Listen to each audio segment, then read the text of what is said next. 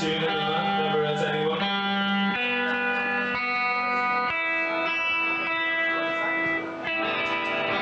This next one's my uh, sixth or seventh favourite of the ones that we do. I can put you on there too.